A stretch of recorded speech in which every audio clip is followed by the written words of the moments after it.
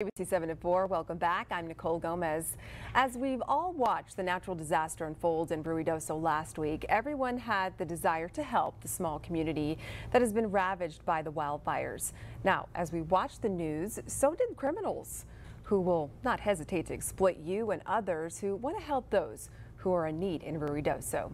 And joining us now to talk about the natural disaster fraud scams is Special Agent Derek Hackard. Special Agent Hackard, thanks so much for joining us. And I know the FBI is reminding the community of natural disaster and charity fraud scams that will pop up, especially right now as our community gathers donations to help those in Ruidoso. Can you talk to us about fraud schemes, especially at this time where so many people have lost so much? Yes, thank you, Nicole. In charity fraud schemes, criminals pull on people's heartstrings in hopes of transforming their compassion into cash.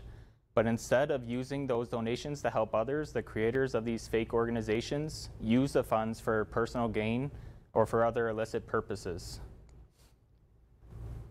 Pleas for help may come across different platforms such as email, text messages, crowdfunding sites such as GoFundMe, social media, and cold calling to solicit donations.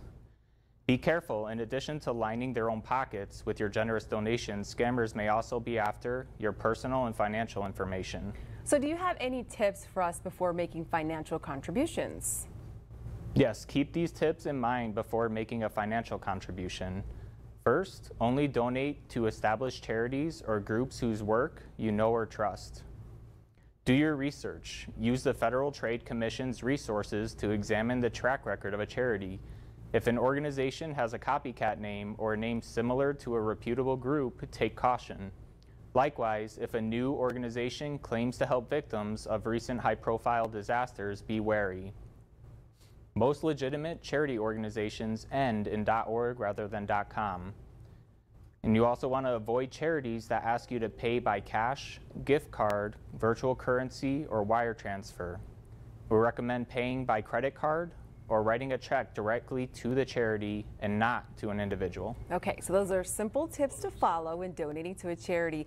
But what happens if a scammer gets a hold of your email address or sends you a text message? How do we handle this?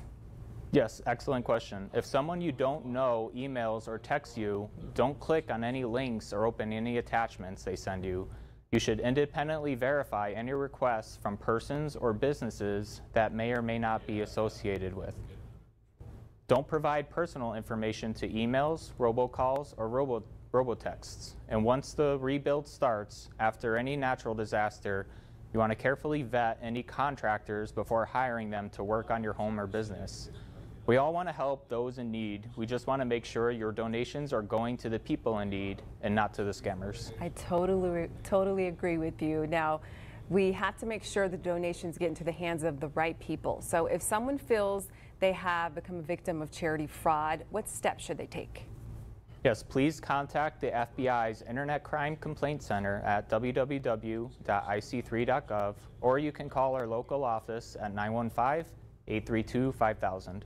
Special Agent Derek Hackard, thanks so much for joining us today. Thank you. We'll be right back.